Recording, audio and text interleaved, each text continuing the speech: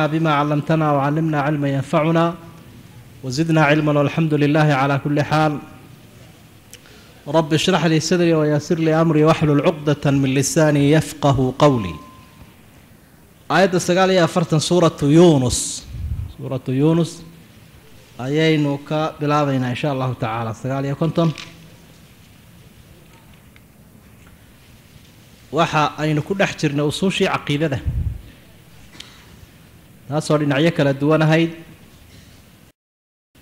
Rububiyada ilaahay. Oo macnaheedu yahay rabbiga caalamkan abuuree qorshaynaya maamulaya gacanta ku haya iska leh. Uluuhiyada ilaahay bimaa fiiha alxaakimiya oo ah inuu isagu ilaaha xaqa a yahay. Ilaahyo kaloo badan waa la sheeg sheegay laakiin ilaahnimadoodaasi waa mid afka una ma la sheegay laakiin ilaaha xaq ahi waa isaga cibaado xaq u yeeshay lafdiga allah ayaa macnaha sheegaya almacbuudu bixaq. Ka xaq lagu caabudaa waa isaga un kuwo kaloo la caabudo baatil lagu caabudaa. Way jiraan. Qayb uluuhiyadaa ka mid ahoo ah xalaashiiyo xaraamta ama sharci dejinta ayaa halkan ilaahay uu ku xusaya aayadahan. Dadkuna in fara badan uu xaqaa dulmi ku sameeyo qul waxaad tidhaahdaa nebi maxamedow ara-aytum waxaa iga warantaan maa anzala allaahu lakum. Ilaahay wuxuu idiin soo dejiyey oo min risqin arsaaqaduuna bal ka warrama. Fa jacaltu minhu ay bacda barhkii waxaa ka dhigteen xaraaman xaaraan baa ka dhigteen. Wa xalaalan barhkiina xalaal baa ka dhigteen.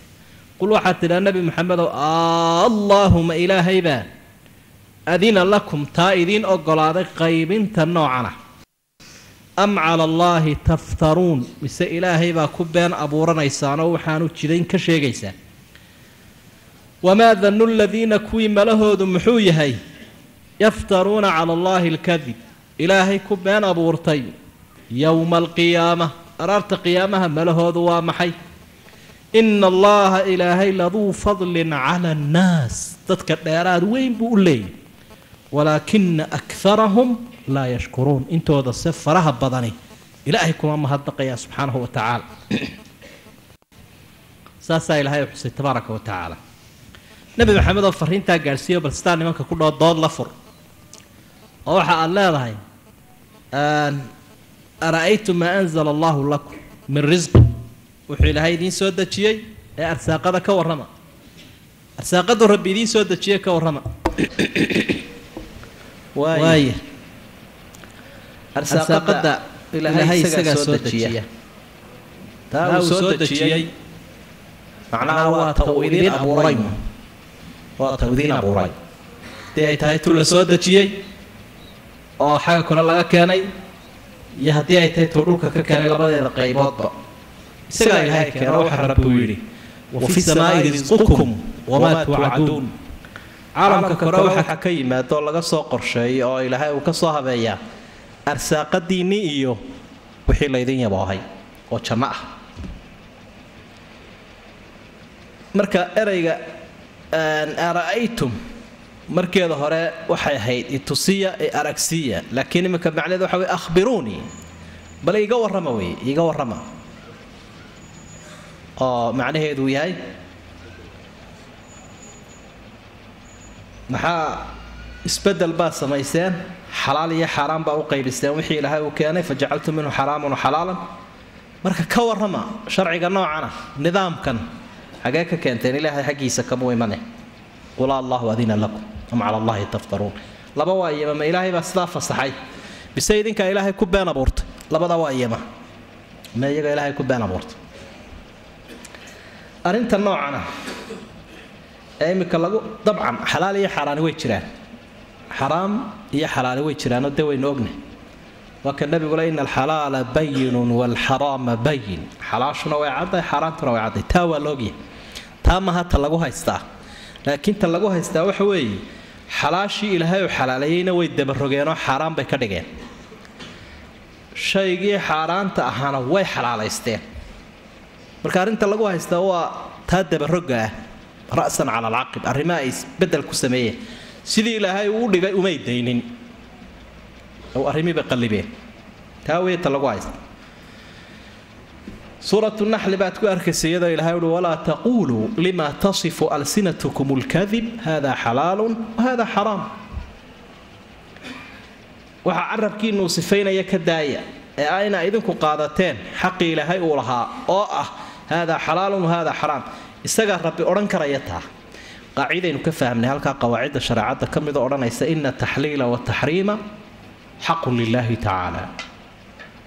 Wax la xalaaleeyo iyo wax la xaaraantinimeeyo waa xaq ilaahay u leeyahay keligii. Macnaha marka halkaa la xusayo macnaheedu waxay dabada ku haysaa sharci. Haddii la idhaahdo shaygani waa xalaal shaygaasina waa xaraam macnaheedu waa sharci weeye tashriica iyo sharci dejintana ilaahay baa iska leh subxaana wa tacaala. Isaga ayaa ah ashaaric huwa allah. Rasuulkana ashaaric waa lagu tilmaami karaa kii sharci dejinta samaynaya inuu yahay maadaama ilaahay u egmado uu xil saaray. Oo dee qur'aankii iyo xadiidkiiba ayuu sharciga ka imanaya. Marka nimankan waxaa lagu haystaa sharciga ay samaysteen. Sharculjaahiliya waa nidaamkii jaahiligahaa wey ee qabaa'ilku samaysanayeen ee dowladuhu samaysanayeen ee diinta ilaahay ka soo horjeeday. Marka qadiyada noocaasi waa dadka gaalada dhaqankooda laakiin dadka muslimiinta xilka saaran waxa way fulinuun laakiin ma aha inay iyagu sharci. Ka ilaahay aan ahayn dejistaan taasi baa marka aayaddu lagu haystaa. Haddii ilaahay loo ogolaan waayo qadiyada sharcigana ilaahnimo looma ogolaan macnaa iyadoo oo layidhi ku caabudi maynunbay ka dhigantay iyadoo layidhi nidaamkaaga dabaqi mayno ku camalfali mayno sharcigaaga. Waxba uma dhexeeyaan inay dadku idhahdaan ilaahay oo tukan mayno oo soomi mayno waxa la mida in la idhaahdo sharcigii dadku ay fulin lahaayeen qof iyo qoys iyo ummadba in halkaa la yska dhigo. Waa iyadoo diintii ilaahay laga tegay. Nabigu waxaa u xusaya waxyaabaha u xasaasane ummaddu marka u horreeyaba ay tuurayso inay taasi ka mid tahay. Waana ta caalamulislaam maanta haysata. Nimankii carbeed iyo cid walba saasaa ilaahay ku haystaa mukhaalafadan samaysa. Allahu adina lakuma maca allahi taftaruun. Su'aashaasaa qiyaama hortaalla dadka. Ma ilaahay baa saa fasaxay? Mise idinka ayaa abuurtay? Mee iyaga abuurtay? Arrintaasoo khatarteeda leh oo aynu suuratul ancaamna ku soo marnay wajacaluu lilaahi mima dara'a min alxarfi waalancaami nasiiba nicmoolaydii iyo beerihii iyobay qaybiyeenoo haadaa lilaahi wahaadaa lishurakaaina waa bizacmihim intaas ilaahay baale intaana sanamkaale intaana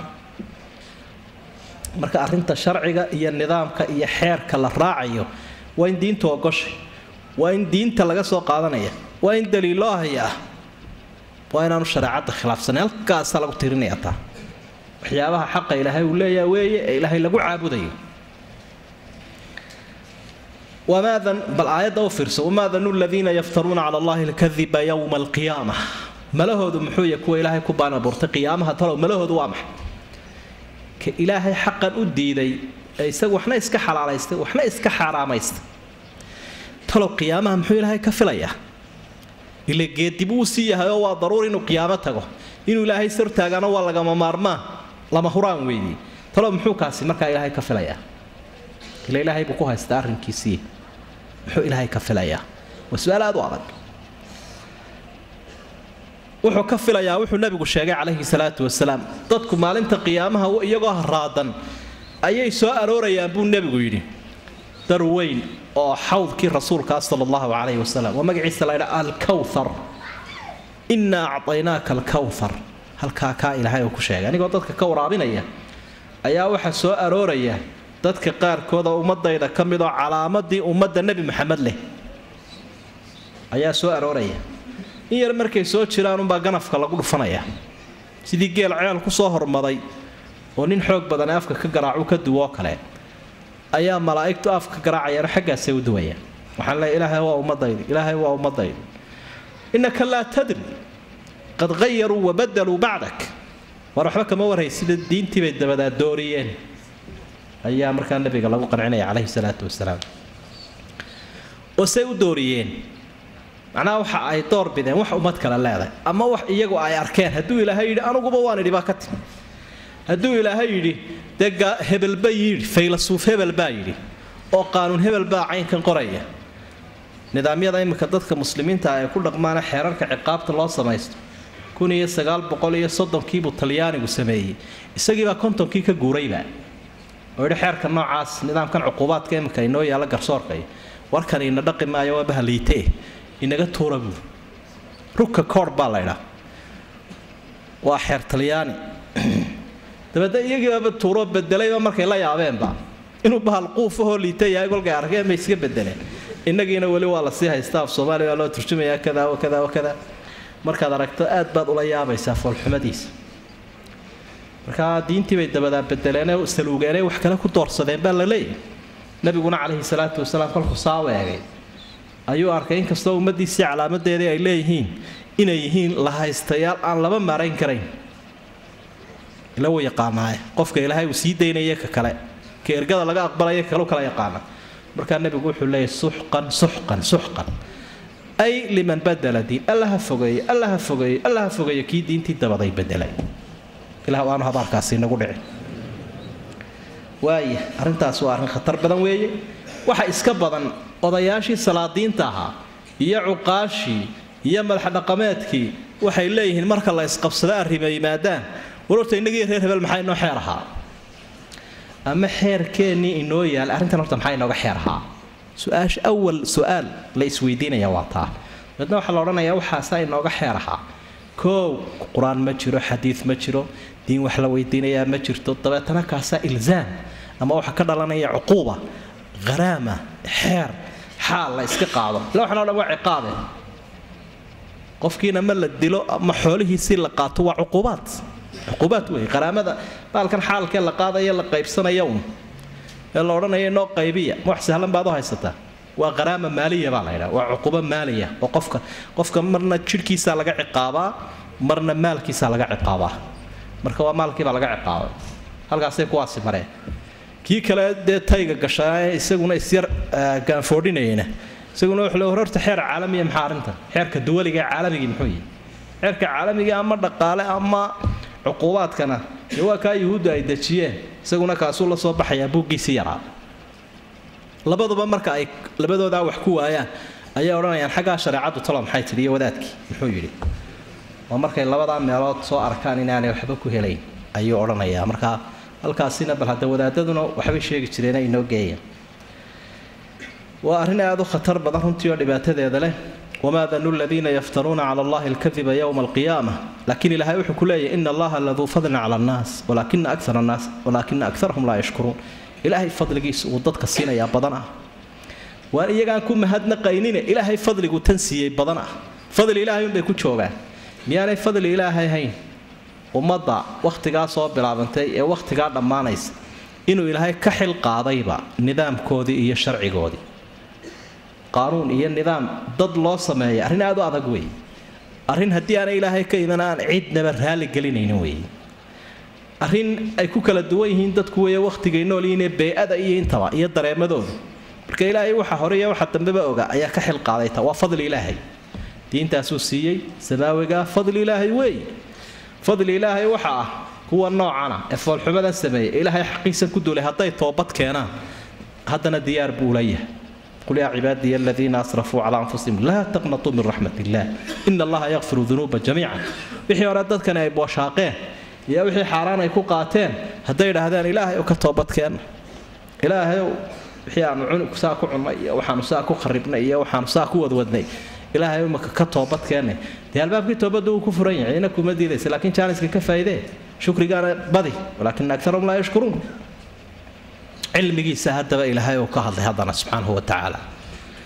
Wamaa takuunu fii shaanin nebi maxamed oo arrin kuma sugnaanaysid markaad ifkan joogto wamaa tatluu ma akhriyaysid minhu arrinkaa daraaddii min qur'aanin qur'aan ma akhriyaysid walaa tacmaluuna min camalin. Shaqo iyo camalna ma qabanaysaan adiga iyo ummadaadu ilaa haddii saddexdan arrimoodba jiraan kunnaa waxaanu noqonnay calaykum dushiinna shuhuudan kuwa markhaatiyaal idinku ah. Id tufiiduuna fiih wakhtiga aad dhex galaysaan arrintaa ku dhex jirtaan wamaa yacsubu kama qarsoomayo. Can rabbika ilaahaaga xaggiisa min mihqaali daratin darro wax la-eg wax aad u yar ilaahay kagama qarsoomayo. Fi samaa samooyinka. Fi lardi walaa fi samaa ciriya dhultoona kagama libdhayo walaa asqara min dalik darada wax ka yari ilaahay ciriya dhultoona kagama qarsoomi karo. Walaa akbara wax ka weynina ilaahay kama qarsoomayo. Ilaa fi kitaabin mubiin. Laakin fi kitaabin mubiin. Kitaab cad buu ku sugay oon ilahay waxba kaga libdhayn.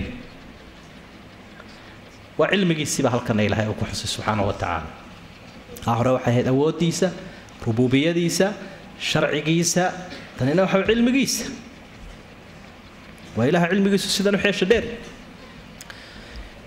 Si kale kolka loo eego arrintaa sharciga ka hadlaysa iyo arrintan cilmiga ka hadlaysa calaaqada iyo raabidada ka dhaxaysa waxa weeye ilaaha cilmigiisu sidan u xeel dheerya ayaa ku habboon inuu sharcigaana dadka u dejiyo laakiin mid aan waxba ka ogayn deegaanka yare uu ku nool yahay mooyaane meel kale caalamka. Wax soo socda aan ogsoonayn dadka ka agdhow dareemadooda aan kala ogsoonayn haddii sharci la weydiiyo dee shaar uu gashadunbuu samayn. Ilaa wax kala garan maayo. Shaarkiina ha dhowto ama wuu ka yaraan doonaa intuu naaxo ama intuu weydoobaabuu ka ballaaran doonaa oo sharciga dadku dejiyaana muuqaalkaasuu leeyahay. Kolkaasuu ha dhowto odhanaya wuu ina waaye inaga bedela marka ilaaha ilaaha cilmigiisu kan yahay ilaahaasaa ku habboon inuu sharciga dadka u keeno waanu u keena. Ayay saloogi alaa yaclamu man khalaqa? Wa huwa latiifu lkhabiir ilaahay wuxuu ku leeyahy miyaanan ogeyn dadkan abuuray anigaaba xogagaal u ah. Haddii cidi sharci u samaynaysiiyo nidaamana haddee xogaal waabaa ilahay marka nebigaa ilaahay uu ku halqabsaday hadalkuna wuu ku wada jaahisan yahay isagiiyo ummaddiisa ilaahayna wuxuu caddaynayaa hadduu arrin hayo nebigu hadduu qur'aan akhriyayo hadday ummaddani camal qabanayso marka arrinkaa ku dhex jirtaan hadda markhaatibaan ka ahay baa ilahay arrinka wax kastoo samaynaysaan waa shuhuud goobjoogaan u ahay.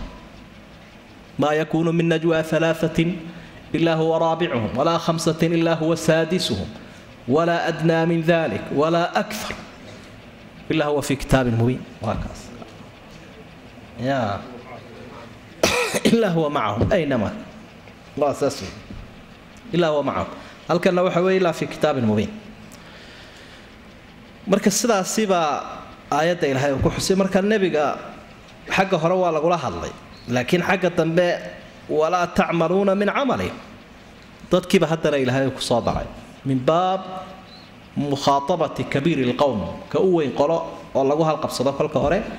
Haddana dabeetna iyagiina lagu daro. Arrinta waxay tusinaysaa inaana isaga keligii ku agayn yaa ayuha nabiyu idaa allaqtum nnisaaa fatalliquuhunna liciddatiin yaa ayuha nabiyuna waa layidhi oo yeedhmadii isagay ku dhacday haddana adiga iyo ummadaadu marka ficilkan samaysaan baa layidhi marka hore labada ficile hore si ifraaday u socdaan maa takuunu fii shaanin wamaa tatluu minhu min qur'aan arrin sugni qur'aan ma akhriyaysid walaa tacmaluuna min camalin camal ma qabataan marka macnaheedu waxa weeye wuxuunan uga jeednaa inu iftiiminaynaa in khitaabkan iyo arrinkan iyo sharcigan iyo aanu nebiga ku goonihayn ummadduna ay la leedahay rasuulka sala allahu caleyhi wasalam marka wamaa takuunu fii shaanin shaanigu waa arrin. Kula yowmin huwa fii shaan shaanigu waa arrin. Marka arrin kastood ku suganta wamaa tatluu minhu? Damiirkuna wuxuu noqonayaa shaaniga wamaa tatluu min qur'aanin minhu liajli dalika shaani qur'aan ma akhriyaysid sababtiisu aad u akhriyaysa ay tahay arrinkaa oo arrimo badan baa intuu nebiga la soo darsaan baa uu u baahanayay aqoon iyo ilaahay oo wax sheega. Qur'aan baa ku soo degayay markaa markaasuu nebigu dabeetana aayaad arrintaa xallinaya ayuu u sheegi jiray ummaddii u timid. Marka shaani intood intood arrin dhex gasho ama wax lagaa weydiiyo ama uu mushkilad cawiisoo kugu adag kugu noqdo ayaa haddana qur'aan lagu soo dejinaya qur'aan arrintaa ku saabsan baad akhriyaysa markaad qur'aanka akhriyaysa markaad arrinkaa faaqidayso ilaa kunnaa calaykum shuhuudan goobjoog baanu ah. Arrintaas waxay tusinaysaa markaa sababta ama xikmadda qur'aanka tafriiqa loogu sameeyey saddex iyo labaatanka sano. Ee uu isaga soo dabadegaya xikmadaha waxaa ka mid ahaa in kolba nebiga arrinta ku adkaata ilaahay uu u xalliyo. Arrinka wax laga weydiiye cusube yimaada ayaa ilaahay u xallinaya qur'aanku ku soo dejinaya marka shaani kastood ku sugantay qur'aan kastoo ku soo degood akhriyayso walaa tacmaluuna min camalin shaqo kastoo qabanaysaan noocay doonaysa ha ahaatee diin iyo dunyaba ilaa kunnaa calaykum shuhuudan id tufiiduuna fiih. Marka arrintaa dhex galaysaan markhaati baan ilahay waa wa shahaadat alricaaya wa shahaadat alriqaaba saddexda qayboodba waa noqonaysa waa shuhuud alcilm markhaati buu ilahay uu yahay u ogyi wa shahaadat alcilm shahaadat ricaayana way noqonaysaa oo markaa uu goobjooga kuu yahay wuu ku ilaalinayaa. Oo dee waa kan arrinkii kugu adkaaday iyo shaanigii qur'aankaaga caawiyey kugu soo dejiyey shahaadat riqaabana way tahay oo markhaati buu ilahay yahay. Waa idin dul taagan yahay. Wamaa yacsubu maa yakhtafi walaa yaqiib kama qarsoomayo.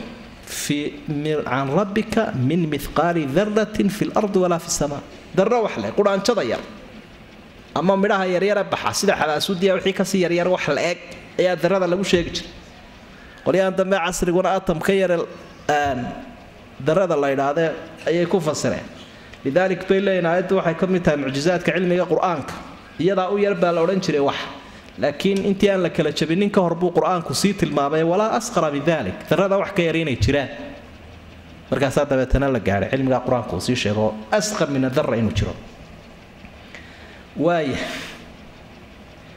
cir iyo dhul ilaahay kagama qarsoomaysa wax ka weyn iyo wax ka yar laakiin intuba kitaab bay ilaahay ugu jiraan lawxu maxfuud laydha halkaa way cilmigiisu ilaaha sharciga idin dejiye ee martida uga tihiina idinka xil qaaday sharciga ee nidaamkan idinku abaabulaya waa ka ah. Cilmigiisa u xeeldheeri marka taasi ilaahay baynugu mahadnaqaynaado walaakina akarahum laa yashkuruun shukrigaa ilaahay baynu badinaynaa waxay tusinaysaa inaynu iimaansanay ilaahay diintiisa maadaama kii xaqu lahaa ee ku habboonaa u dejiyey.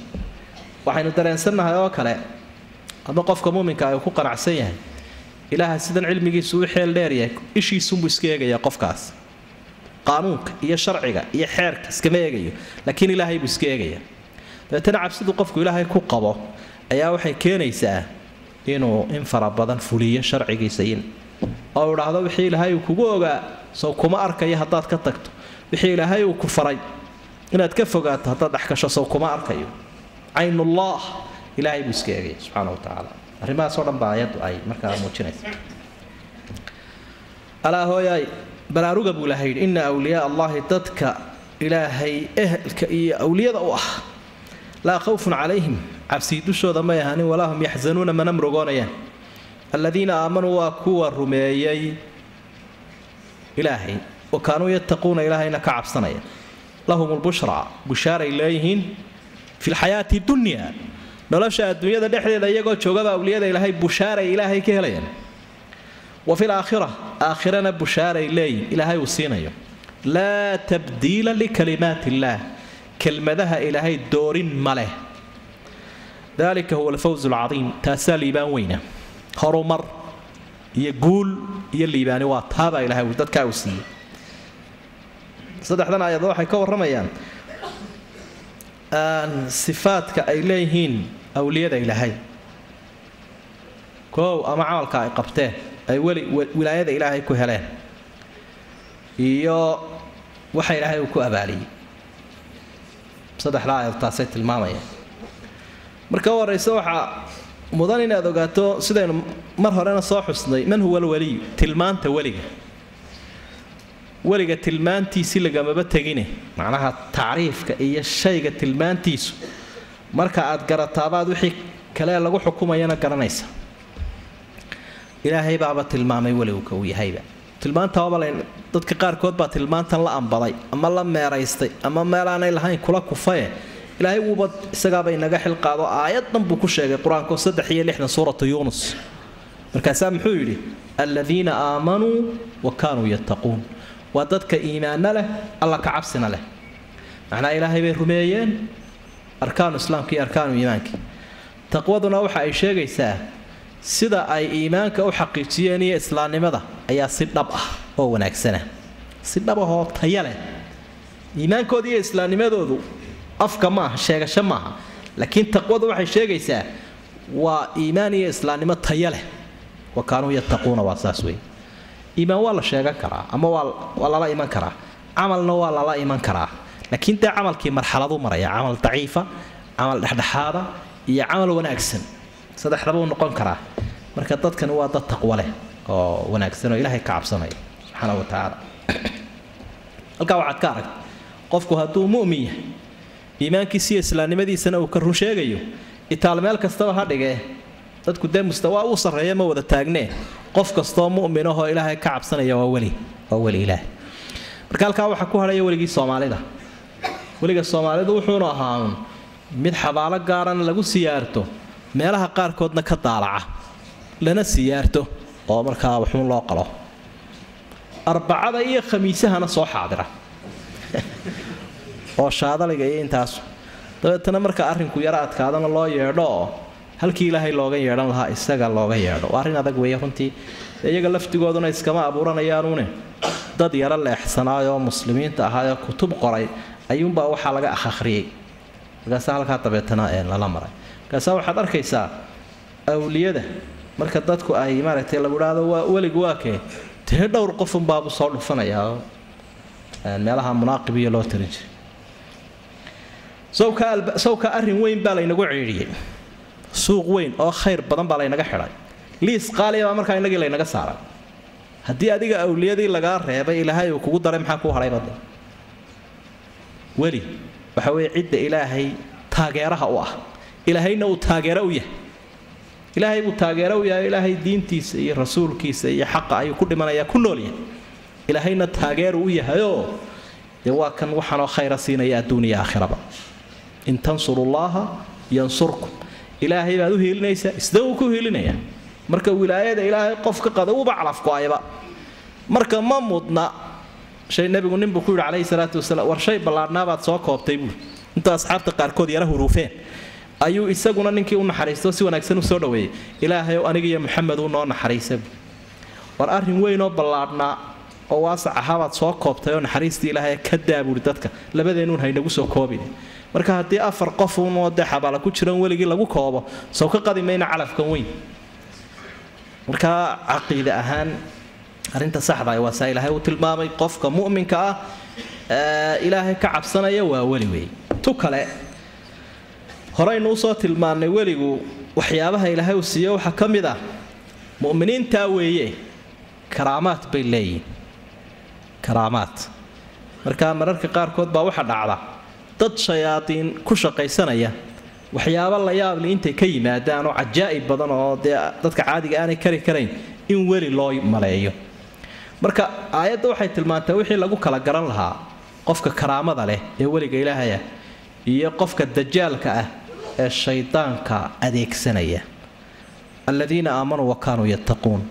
Marka hadduu liiskan ku jiro aladiina aamanuu wa kaanuu yattaquun wixii aad ku aragto waa karaamo ilahay idankii hadduu doonaya haba duulo ama badda dusheedaba ha tallaabsado ama cajaa'ibaha ka yimaado.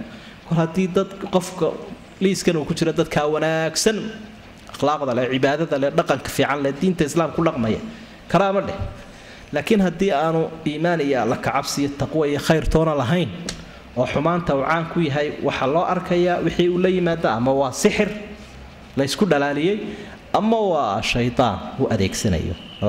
Imaamu shaafici baa arrintaa ka jawaabay imaamu shaafici raximahullah haddaad aragta buuhi qof badda dusheeda tallaabsanaya. Waana ku kadsoomina horta diinta ilaahay u bandhig buuri haddii uu markaa yahay qof iimaan iyo taqwo leh waa weli karaamo leh. Haddii uu yahay mid aan taqwo iyo imaantoona lahaynna wuxuu noqonayaa shaydaan iyo tasaruf marka taasi wax badan bay kaa dhib yarayn karaysa. Iminkana dee dadku had iyo jeer marka jahliga diinta islaamka laga jahliya ay sii badato ayaa waxaa dhacaya in dadku ay aada u leexleexdaan siiba dadka maatida ah. Ummadiiba imika waxa xidhxidhay un fooxlayaal iyo sixirlayaal. Baaba xidhxidhayba. Weliba gaar ahaan dumarka. Dumarkiiyo dadkii maatida ahaa. Markaasaa sheekhow inankii wuu bogsan waaye bal ka waran haddii sheekha saawax isku yidhaahde qiiqa shida iyo rawxaantu ku soo degaysa loo geeyo islaanta heblaaye fooxinayse tusbaxa ridaysa iyo aleesha haddii loo geeyo haddii saarkii laga tumo waxaasunbaa isweydaaranaya waaya marka sidaas weeye asxaabtii nebiga iyo saalixiintii ka horrey awalu lwliyaa waa rasuulullahi moxamed sala allahu caleyhi wasalam awliyada ka u u sarreeya waa rasuulka ilaahay iyo rususha kale iyo ambiyada iyo saalixiinta. Waman yudic illaha warasuul fa ulaaika maca aladiina ancama allahu calayhim min alnabiyiina wasidiiqiina washuhadaai wasaalixiina waxasuna ulaaika rafiiqan. Kuwaasaa wanaagsan kuwa lana rafiiqa kuwaa way awliyada marka caqiidada fiican uu qofku leeyahay cidaan ilaahayna ka cabsan maayo iyo miduu dhugdhugleeyo laabta u garaaco idhaahdo walaa inaan kuwan jaafi ama kuliqi ilaa way iska badan tahay taasi dad badan insaan lagu harawsadee hadduu cid iska daweynayana cid diinta ilaahay ku toosan buu iska daweynayaa haddii uu cid la saaxiibaya weli u aaminaya kan uu aaminayaa oka marka tilmaantaa sida aad u soo dhaafto. Waxaad u gudbaysaa haddaba wuxuu ilaahay ku abaalmariyey wuxuu ilaahay ku abaalmariyey marka tilmaanta aynu ka gudubno laa khawfun calayhim walaa hum yaxzanuun waa laba sifo. Lahum lbushraa fi lxayaati addunya wa fi laakhira waa sifo saddexaad. Dalika huwa alfawz alcadiim intaasaa ilaahay u siiyey. Awalan cabsi iyo muruga toona ma haysato. Halka dadku ay ka cabsanayaan ama ay ka murugaysan yihiin. Ifkana waa lagu cabsadaa waa lagu murugoodaa. Aakhirana waa lagu murugoodaa waa lagu cabsadaa labadaba ilaahay uu ka dulqaaday. Leanna u deganaanshuu qofkiiba leeyahayba. Ilaahay baa labadaaba siiyey. Bushaaray leeyihiin adduun iyo aakhiraba. Liibaan weynna way heleen intaasoo arrimood bay ku guulaystay alkhawf walxusn khowfka waxaa la yidhaahdaa wixii soo socdood ka cabsanayso. Arwaxaa talo maxaad ka yeesha talo maxaad ka calfa muu kugu dhici mise wuu ku seegi? Xusniguna waxaa la yidhaahdaa qabandhacyada iyo qamuunyada kaa haysa wixii horee tegay war maxaad saa odhan wey ar waxaasaa ku dhaafa war waxaasi muxuu kugu dhacay? Murugada iyo isciilkaambiga wixii hore. Labadaasubaaba tan dilayba. Dadkan caalamka iska jooga ama wixii horeu ka murugaysan yahay iyo dhaawaca ku yimee hore ama dhibaatada ka dambaysuu ka baqaya ilahay idankii malagga nafta ka qaadayana ha ahaade taasunbaaba ilaahay labadanba uu ka dabciyey. Si dhinkaa dadka kale ku dallacan ilaahay waa ka dabciyey ka raaxaystanay waaya bushaaradan adduunyada iyo aakhirada ay ku leeyihiin. Dee qur'aanku isagaa isfasirayee aayado kalea ilaahay uu ku fasiray.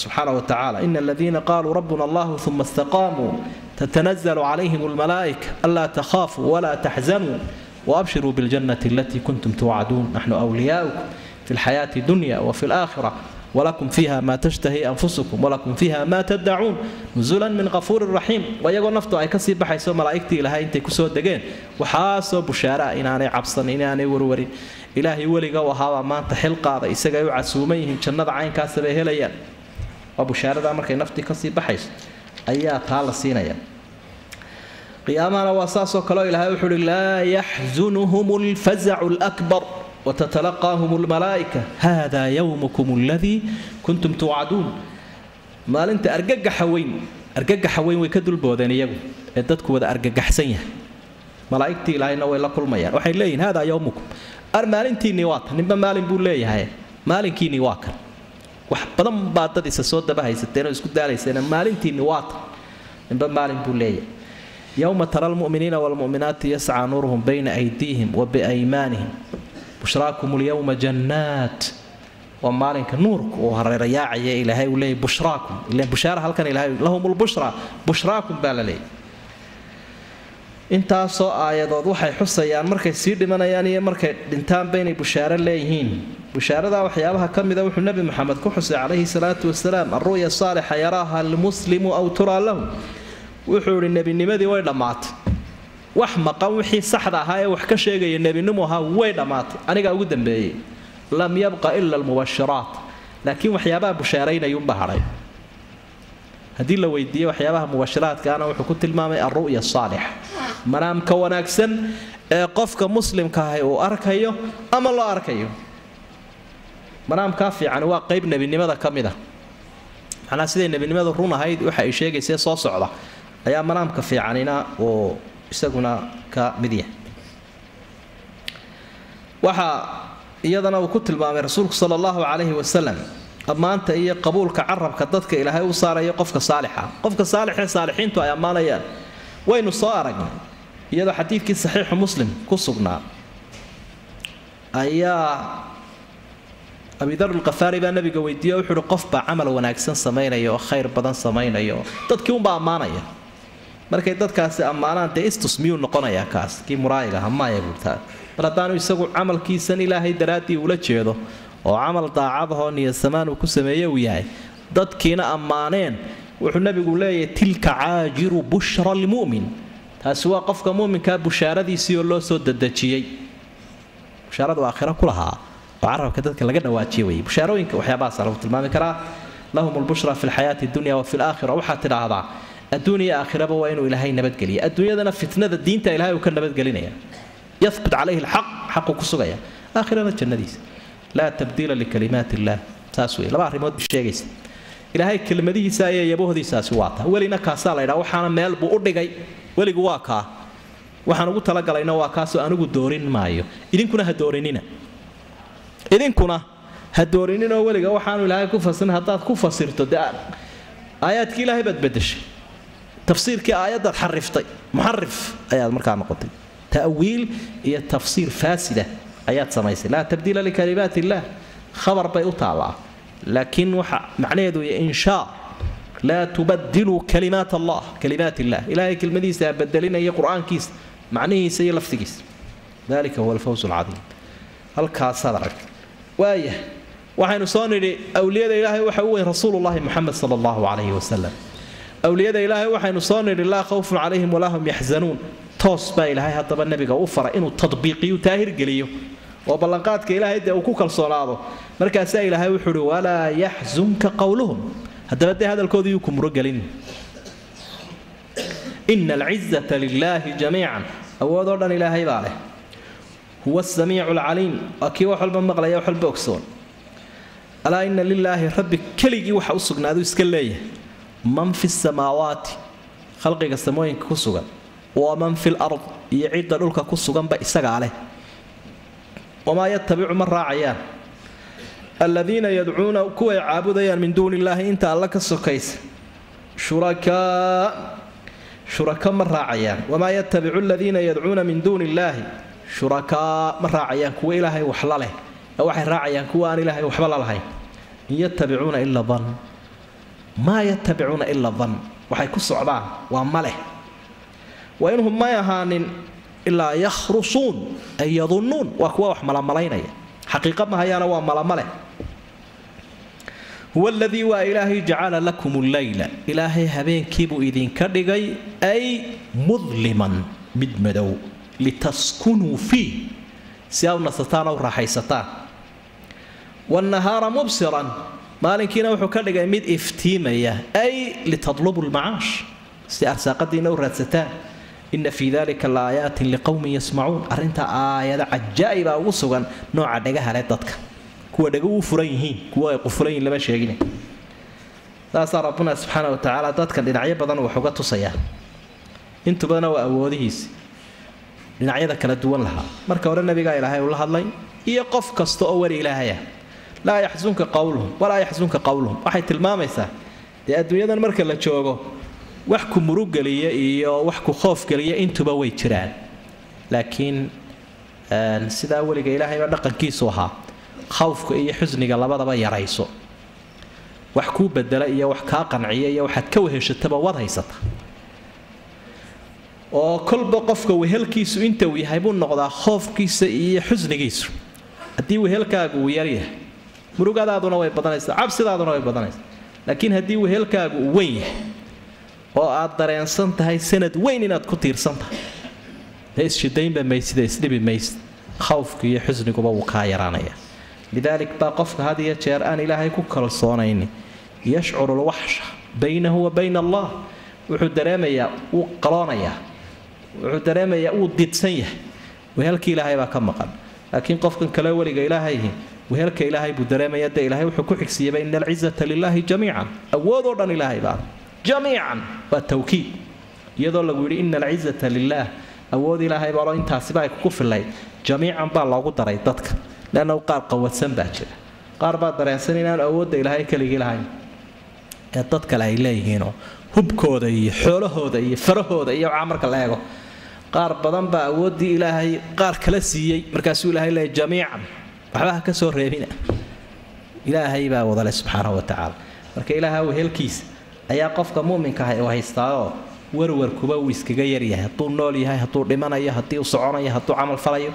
Waxaa kalood ka arkaysa aayaddu ay kuu yeedhinaysaa oo macnaha iyo faxwaha iyo madmuunkeeda aad ka qaadanaysa. Dee in kifaax jira meesha. Oo waxaan khowfka iyo xusniga keenaya waa kifaax baa jira. Noloshiibaa sida ilaahay dabeecadda uu dhigaybaa waxay tahay qofku inaanu macnaheedu ahaynun intuu iska soo baxo ifkan iska daansho daanshoodu xaragooda un inuu iska allaysanayo aakhiraysanayo intuu halkan joogo kifaax buu ku jiraya dagaal buu marayaa. Dagaal afkaa iyo dagaal cududaa iyo dagaal kala duduwan buu marayaa. Tijaabuu marayaa qofku. Marka tijaabada inuu naajixayo inuu fashilmo labadaba waa way way u taallaa marka saa daraaddeed baa ilaahay qalbigu adkaynaya nebiga iyo qofka muuminkaa markaasaa la wax ku murugeliya iyo wax ka cabsiyaba way arkayaane ilaahay wehelkiisa wehesho ilaahay. Awooddana inuu isagu leeyahay ogow. Saasaa maarag dabeetana arrintaa wax sii adkeeyana waa la xuso alaa ina lilah alaa ina awliyaa allahi bay soo ahay. Alaa waa xarfu tambiih baa la ydhaha arrin muhiima marka soo la soo wadaa la isticmaala luga alcarabiya saa daraaddeed baa ereygaas. Qur'aanka waa aad ugu badan yahay marka intibaah buu qofkii qaadanaya wuu soo jeedsaday. Dabeetana waa lagu dhibqinaya waa loo sheegaya wixii la soo waday. Ina lilaahi man fi samaawaati waman fi lard lama odhanin ina lilaahi maa fi samaawaati wamaa fi lard iyaday qur'aanka meelo kala jirto. Meelna waxa ku munaasiba maabaa ku munaasiba meelna man baa ku munaasiba. Halkan man baa ku munaasiba. Waayo arrinka laga hadlaya wuxuu wax murugelinaya wuxuu ahaa cisiga iyo awoodda oo dadka qaarkood ay aamineen inay markaa ilaahay la leeyihiin ama qaar u qireenba. Markaasaa dabeed halkan man baa ilaahay. Man iyo maana dee farqigeeda waa dareemi karaysaa. Maa waxaa loo isticmaalaa? Wixii caqli leh wixii wax maamulaya wixii awood leh wixii tasarufaya sida jinkiiyo insigoo kale. Ayaa maaragta marka kuwa noocaasi awoodda sheegtay ilaahay isagaa leh. Man fi samaawaati wa man fil miyay ka baxayaa khalqiga cirka iyo khalqiga dhulka dee kama baxayaa intanba ilaahay isagaa leh. Sidaasuu dee cisiga ku yeeshay aamin. Wamaa yatabicu aladiina yadcuuna min duuni illaah ma raacayaan kuwa caabudaya cid aan ilaahay ahayn shurakaa. Kuwa shurakaa ma raacayaan. Oo sawta la raacay shurakaa. Aayaddu way anfiday. Kuwa cid aan ilaahayn caabudaa inaanay raacaynin kuwa shuraka ah oo shurako badan baa la raacay waa sidee macnaheedu waxa weeye waa shurako afka laga sheegae shurako ilaahay waxlale maaha. Dhabnimo marka la eego ilaahay ma waxbay la leeyihiin dee ilaahay waxba lama laha. Kol haddaana ilaahay waxba lalahayn waxan ay caabudeen inta ilaahay ka sokaysa ma aha shurako. Ee waa lagu sheegay un dee. Wuxuna haddii la sheegay oo dee xaqiiqo aanu ahayn wax jira maaha dee. Marka waxway raaceen laakiin ma aha wax ilaahay wax laleh waa taa markiiba lagu cadeeye laguhi in yatabicuuna ila danna wa inhum ilaa yakhrusuun malay raacayaan waa qiyaasid qiyaasid kharsigu waa qiyaas wey waa ugu dhowaanaya qiyaas iyo ka soo qaad inuu kambe ilaahay yahay arrinkoodu saasuu ku socdaa kharsigu waa nooca. Shaygii oo laydhaa ugu dhowaan weeye. Waa kharsu nakhiil baa la geetimireedka iyo sarca iyo intaasaa ka soo go'i kara maalan waa ugu dhowaan waxa la ydhaa xaqiiqa ma jirto waa laguu sheegay inuu ilaahay yahay dadka caalamkan awoodda kuleh ka dhex shaqaynaya inuu isagu leeyahay awooddiisa iyo ilaahnimadiisa xaqa ahee kuu cadaynaya inaad weeshan karto waxaa ka mida tan. Inuu yahay habeen iyo maalin ka gacanta ku haya. Waa laba aayadooda waaweyn laba aayadood cajaa'ib la weeye maslaxadda basharku aad ugu xidhan tahay wax badan lagu kala garanayo. Huwa ladii aayaadka ka mida cajaa'ib kale huwa aladii jacala lakum alleyla litaskunuu fiihi wannahaara mubsira. Marka xudifa aani lidilaalati lwal waxudifa alwalu lidilaalati aani oo qur'aanka balaaqadiisa ka mid tahay ka hore waxaa laga jaray wax ka dambe tusinayo ka dambena waxaa laga jaray wax ka hore tusinaya. Macnaheedu waxa weeye jacala lakum alleyla habeenkiibuu ka dhigay mudliman. Habeenkii wuxuu idinka dhigay mid idiin madow. Waxa ku tusinaya mudliman inay halkaa ku jirto dee kii kalea la yidhi mubsiran soo maaha kii kale waxa la iftiimaya. Dee ka kalena wuu madow yahay wey. Sababta loo madoobeeye waa maxay? Litaskunuu fiihi si loo raaxaysto loo nasto. Oo nasashadiiyo madowgaa isleh wanahaara mubsiran maalinkiina midoo xarkaya ayaa laga dhigay. Maxaa looga dhigay? Dee waxaad iyadana litaskunuu fiihi mid ay ku tusinayso cagsigiisa ah. Ayaad soo qaadanaysa. Litadlubu lmacaash walituxaqiqu lmasaalix si aa maslaxadiinna u xaqaajisaan oo arsaaqadiinna u raadsataan oo u tasarufi kartaan. Lidaalik baa dhulka wada habeenka ah ama wada maalinka ah. Dadka noolunbaa la weydiin karaa diiqaday ku qabaan iyo hawsheeda iminka waddamada skandinafianka qaybaha waqooyiga xiga iyo kanada galbeedkeeda iyo marna waa wada maalin oo dadku waa u niyood. Marka dabeetna maalinkii subax afar iyo labaatankii saacadood gurigu waxaa loo sameeyey waxyaaba aad u balaagoo daaqadihii muraayadda iyo lagu dadayo oo dabeedna dem la wada madoobaynayo. Ilaa dadkii baa madowgii u baahano waa kan ilaahay tilmaamay raaxadoodii ku xidhanta markaa dhowr tobaneeyo saacadood baa la odhanaya u niyood habeen. Daaqadaha dabeedna lagu sii daynayaa. Daah lala yaqaano oo aad u madow oo marka daahyadaa lagu sii daayo daaqadaha ayaa carrigoo dhammi wada madow noqonaya. Markaa shakilaan qofkii wuxuu isqanciyay inuu habeen ku jiro. Litaskunuu fiihidii buu baadi doonayaa qofki tan kalena dee iftiinkiiba iyadana dadkii aadi dareemaya runtii. Marka mubsiran mubsiran macnaha iftiinkiisu sida uu u xeel dheeryahay ayaa waxaa laga dhigay siduu isagu maalinku wax arkaya oo kale. Ficlan maalinku wax arkaya dadka ku dhex sugan baa wax arkaya laakiin sida wax loo arkayaaba ah siduu isagii wax arkaya oo kale. Mubsiran ilaah awoodda ale fii dalika la aayaat baaba lagu. Aayaat. Ha iska soconin kana madowgiisa dhex qaadin kana iftiinka sida xayawaanka dee ha u socon ila waynu ka duwana inagu eh. Kana aayadda ka akhri kana aayadda ka akhri aayaadka ilaahay dee haylaawin kitaabkanoo quraha ku fooranay bal kana yara akhri mararka qaarkood qaaluu waxay yidhaahdeen nimankii imaanlaawayaashii edabdarradaha edabdarrada badnaa waxay yidhaahdeen ittakhada allaahu waladan ilaahay baa ubad samaystay bay yidhaahdeen subxaanah ilaahay isagaa ka hufan inuu ubad samaysto ka nasahan huwa alqaniyu waa mid kaaftoomay wuu kaaftoon yahay lahu waxa u sugnaaday maa fi samaawaati wamaa fi lard waxa ku sugan samooyinkiiyo waxa dhulka ku sugan in cindakum maa cindakum min sulaanin maa cindakum agtiinna ma ah min sulaanin wax daliila uma haysaan bihaada hadalkaa aa sheegteen ee caqiidada ku saabsan ataquuluuna cala allaahi ilaahay ma waxaa ka sheegaysaan oo odhanaysaan maa laa taclamuuna waxaydaan waxba ka garanayn jahli kaga suganti. Qul waxaa tidhaa ina aladiina yaftaruuna cala allahi alkadib ina aladiina kuwa yaftaruuna ku abuuranaya cala allaahi alkadiba beenta ee diin uga dhigaya dadka baadilka.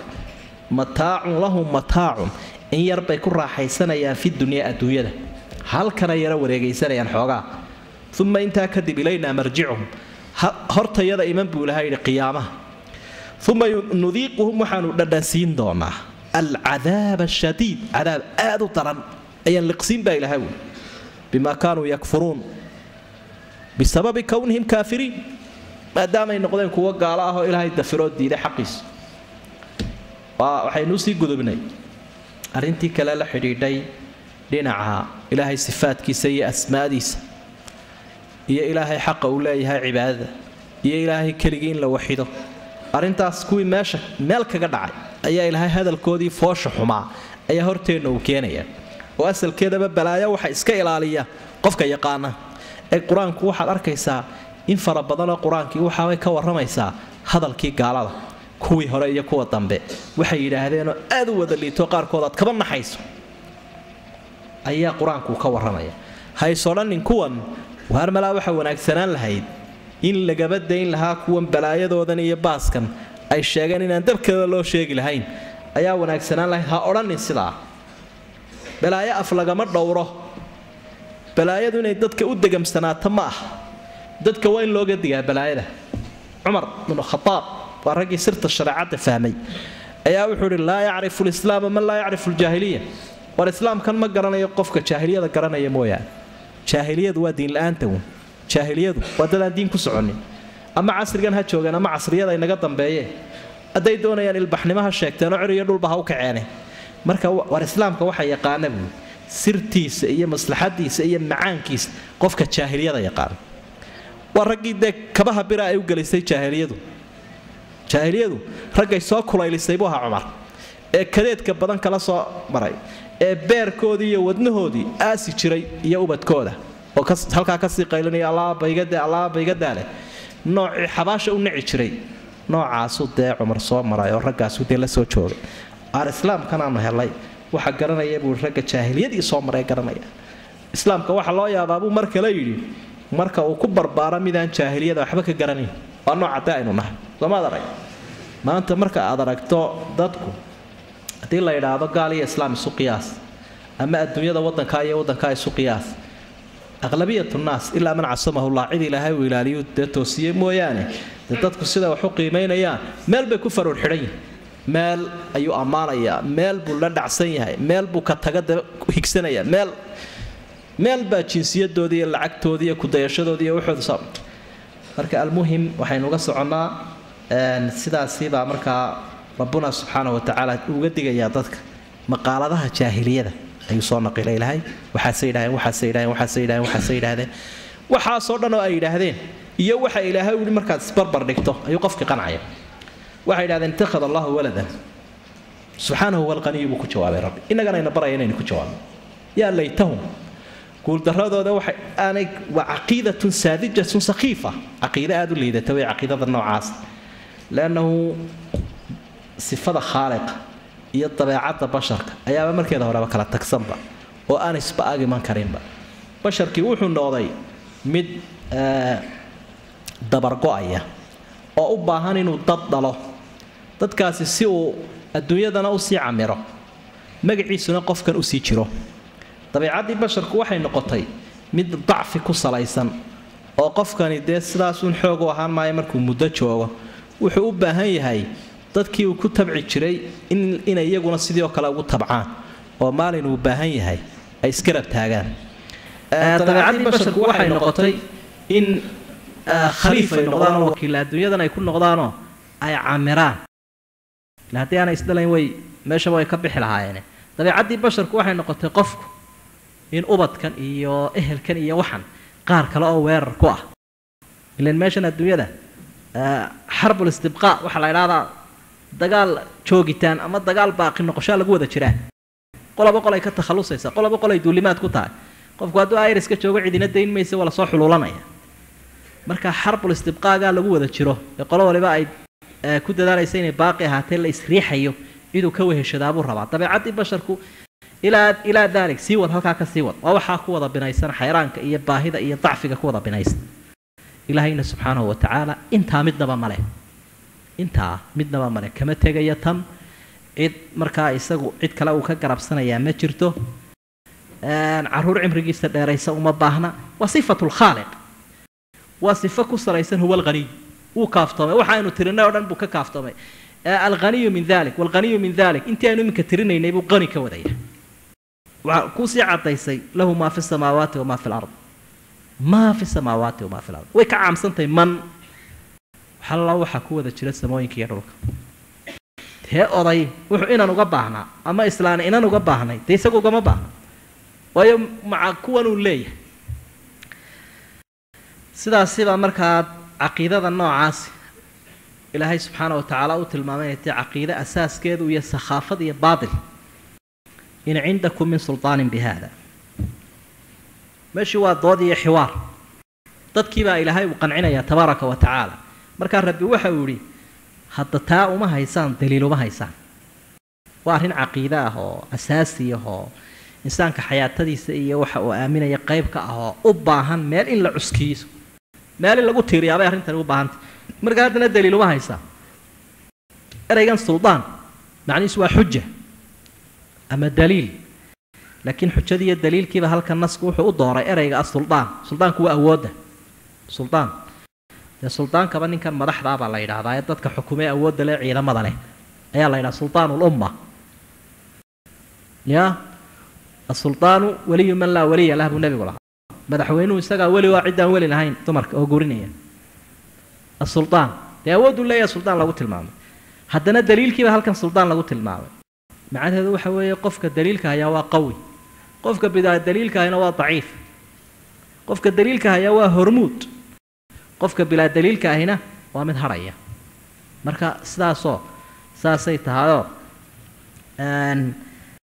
dee xoog xoogba ha tagta laakiin qofka daliilka hayaa ayuunbaa qawiya.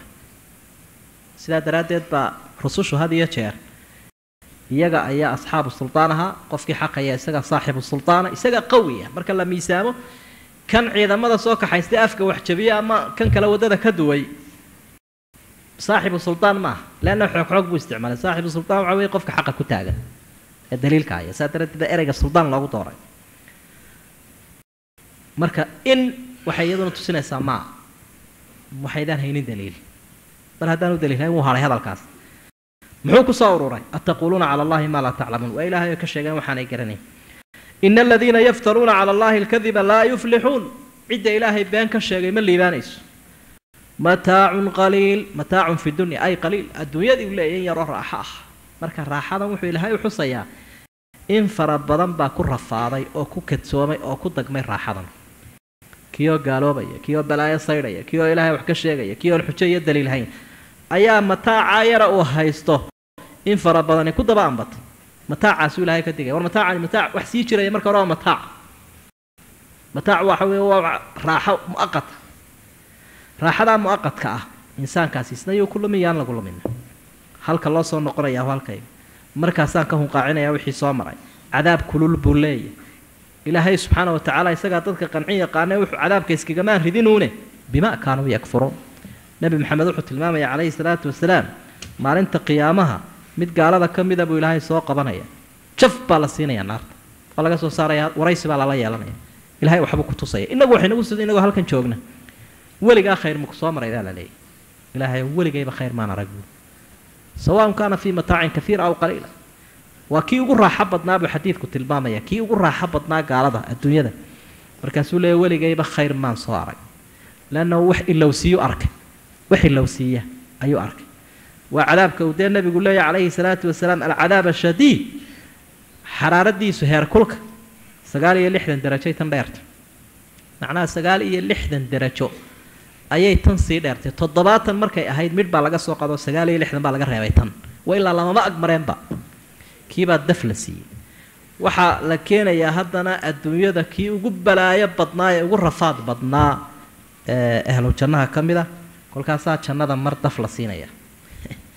Dee isagu macnaha waa la dhex joojinaya waa la eegaya dee waxaa la tusayaa wuxuu leeyahay mumtalakaadkiisa xururciintii iyo daarihii iyo gadaay wixiisi o dhan baa laleeya waxaa ahoo wuu qabowsanaya. Dhuxushii buu soo tuuraya. Adduunyada haysa. Tii ka hadhaysa. Markaasaa laleeyahy ka warran waa kii ugu balaayo badnaa ugu cudur badnaa ugu faqri badnaa ugu balaayo badnaa.